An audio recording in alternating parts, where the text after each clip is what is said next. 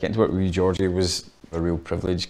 And Andrew purposefully didn't let her see me as Mr. Tumnus. The first time that she sees me on set is the first time that she saw Mr. Tumnus on set.